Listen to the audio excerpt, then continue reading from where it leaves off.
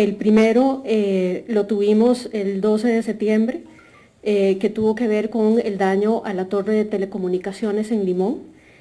Eh, el segundo que considero es bastante importante fue el daño que se causó en el plantel de Recope en la subestación, que tuvo por varias horas fuera de servicio el plantel de Recope en Moín.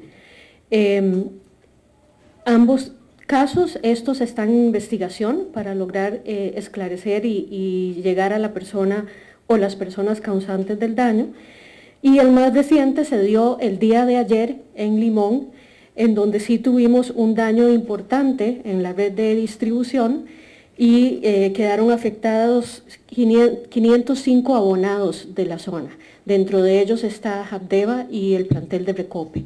Esta avería eh, duró varias horas en poder repararse y uno de los hechos que más lamento es eh, que la cuadrilla que atendió esta avería sufrió insultos y se les lanzó piedras al, al auto de la cuadrilla cuando iban saliendo del lugar por parte de los manifestantes.